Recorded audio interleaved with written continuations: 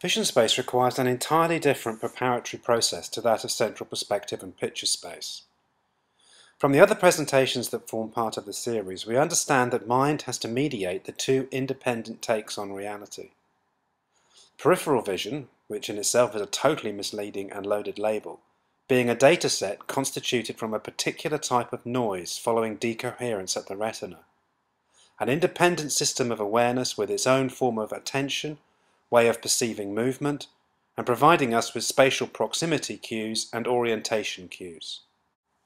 Artists have for centuries learned to address the entirety of phenomenal field and have been developing strategies for rendering its true nature. This pursuit has by default shown us flashes of the underlying perceptual structure to vision. Van Gogh's patterning of space is not accidental or decorative. In the same way Cezanne is not painting leaves of the tree, He's articulating a spatial value at the point where a cluster of them occupies space with respect to his chosen fixation. In the same way in this large painting I'm indicating proximity from fixation by size of brushstroke.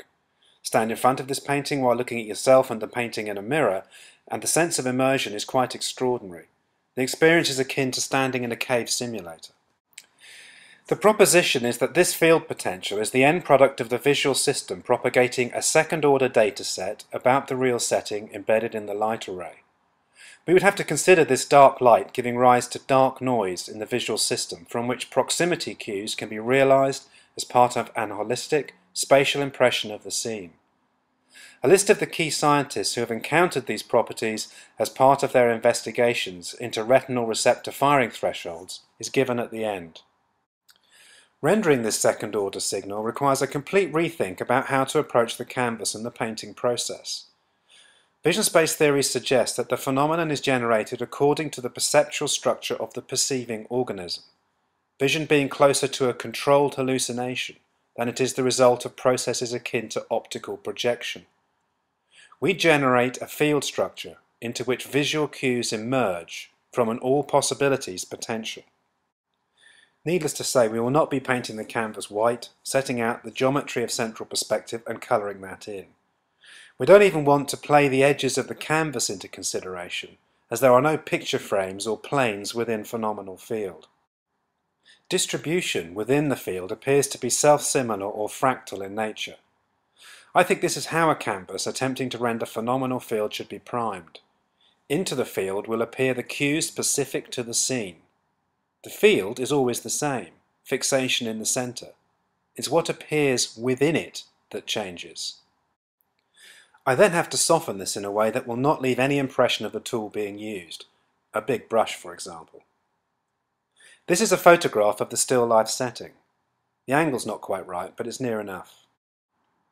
I can now plot the scene within the field. This just gives some orientation, a grid reference system really, as I start to account for the cues that are isolated and selected as marks to make within the field. First thing is to establish the weight of the brushstrokes to be used to indicate proximity. Fine in the centre at point zero, then increasing with distance from fixation in x, y and z directions. No attempt is made to render form outside the fixation area. We are primarily establishing locations in space. A location value indicated by the size of brushstroke only has meaning in context to the whole. We are rendering implicit holistic space. If you approach an area of the field with a reductionist view, i.e. to pin down the value in isolation, it has no independent meaning. We now start to see the introduction of a second tier of brushstrokes. These brushstrokes appear in patches the same size as the original tier, i.e. they have a group identity. They also form part of a local reference parameter. That local reference parameter is still valid within the first tier, but now it can be subdivided. Notice that these marks all point to the fixation area. Subdivision within the second tier allows for different individual brushstrokes to be assigned different colours. This provides the potential for greater detail to be referenced within the field, for example the round coloured box. Also notice the potential to group marks belonging to a surface, for example the left hand side of the tabletop. When the fixation is held on the sculpted hands, the groups form, and we perceive the tabletop falling away into the distance. Now notice how the brushstrokes on the backboard behind the object starts to resemble those in paintings by Cezanne. I'm not setting out to accomplish this, I'm merely rendering the system. Neither is it a coincidence we are recording the same things. Also notice the large brushstrokes on the right hand side. These indicate the position of a couch, side table and end wall. At this point in peripheral vision, object definition has all been but lost, but the vital spatial proximity cues can still be registered with the size of brushstroke. We are also depicting the far distance out into the garden beyond the outer walls of the studio. Very substantial brushstrokes that fall into place when the fixation is adhered to. Other objects on the table can now be referenced within the space, together with the arm of the anglepoise. In some areas a third tier of brushstrokes can be made out, providing further clarification. We don't see these textures in vision because we can't look at them. We can't be objective about them and we can't address them objectively. We can, however, experience them subjectively and intuitively develop systems of marks that provide the missing data or dark data. Finally, in terms of the painting's development, we can attend to the fixation point and its immediate area of macular or central vision. We can finally be explicit here and address the form of the objects and their surfaces. While this is still a painting in progress, the essential duality of datasets articulating the fundamentals of the two takes on reality available to us have been established. The point is, we need both the implicit context together with the explicit contemplation of form to model visual awareness and hence our relationship with the real. The reality is we have to fabricate our visual reality. It's a composite. We have to do this because light's the messenger, a free-moving microparticle that decoheres at the retina with two possible stories to impart. If you look at this painting in a mirror, like other vision space paintings, it becomes noticeably more salient and more immersive. I struggle not to use the word 3D it's actually EXPD. The painting establishes important cues commensurate with those making up experiential visual saliency. Binocular fusion technologies and conventional 3D systems have nothing to do with visual saliency. But why should the mirror have this effect?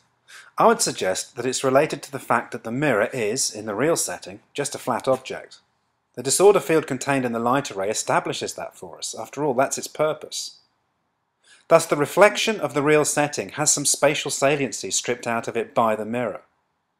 The mirror is acting on the information. It's not passive. However, the depiction of the real setting in the painting does have the full spatial structure hardwired into it. So when we look at the painting in the mirror together with the rest of the scene, it's only the depiction in the painting that stands out as being experientially true or complete. It looks more spatially salient than the reflected, real setting in which it sits. Has the longest running psychophysical experimentation in history with respect to vision space already been conducted? Does every national gallery, if not serious regional art gallery, require a work by Turner, Cezanne, Degas, Van Gogh, Bonnard? Why is it that millions of people travel all over the globe to see these arrangements of everyday objects? How much are these paintings worth? You won't read much about them in vision science books, even if they appear on their front covers.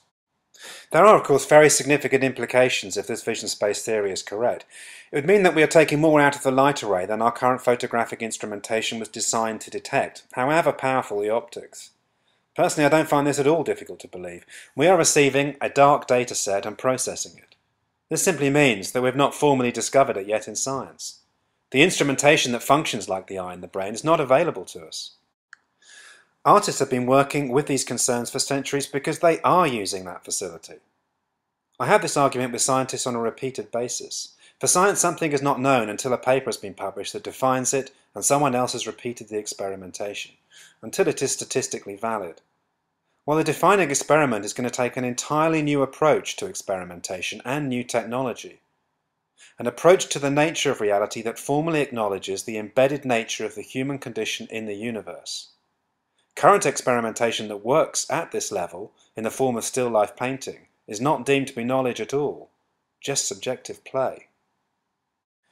Could the dark data set and the way we handle it lead us to approaches to reality that open up onto other dark data we think is out there? Another presentation on this will follow. In modelling visual awareness, we are starting to learn something fundamental with respect to how to be objective at all scales. What's actually involved in us being objective?